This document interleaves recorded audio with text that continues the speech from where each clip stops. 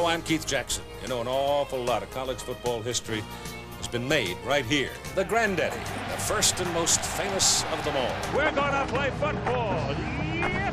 Vince Young scores. One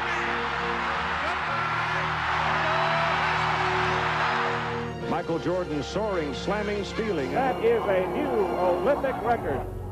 The place talks. It talks to you. And if you you don't believe it, if you ever have a chance, somewhere in this maze of seats, sit down. No conversation, just you. And just sit there and listen and see if you don't hear something, but you feel it.